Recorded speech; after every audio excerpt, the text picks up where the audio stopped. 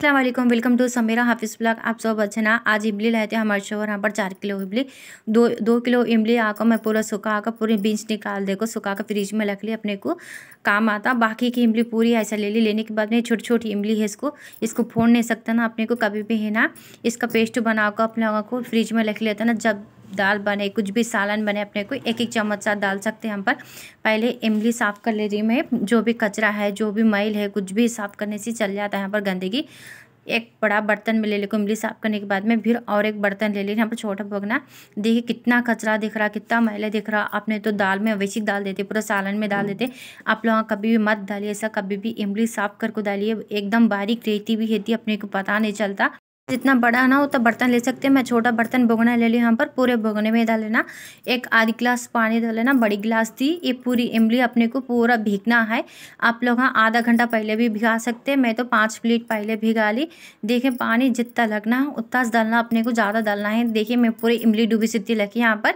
उसके बाद में गैस ऑन कर ले गैस पर धीमी आँच पर उसको पका लेती। थोड़ा पहले फास्ट रख ली मैं गैस। उसके बाद में स्लो कर देती। देखिए, यहाँ पर इमली पूरी पक चुकी है। अच्छा अपने गल चुकी है यहाँ पर।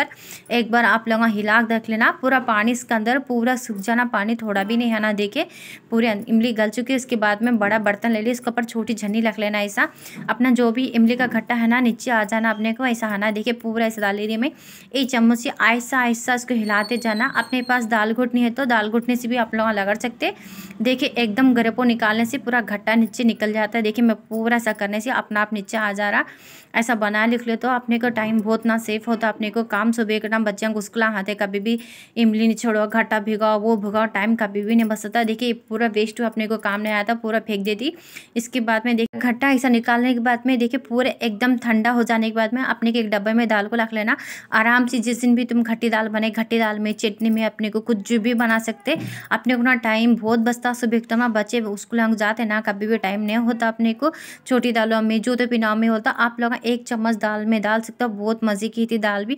मैं स्टोर करके रख लेती मैं एक महीना, दो महीने, तीन महीना आराम से चल जाती छोटी फैमिली है तो पाँच महीने छः महीना आराम से चल जाती हमारी वीडियो आपको अच्छा लगा तो लाइक करिए शेयर करिए सब्सक्राइब करिए।